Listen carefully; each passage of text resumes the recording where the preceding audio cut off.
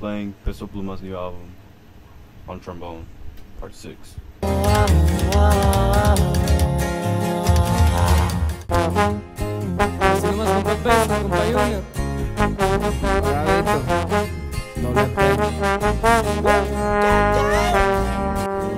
Pura doble P, viejo.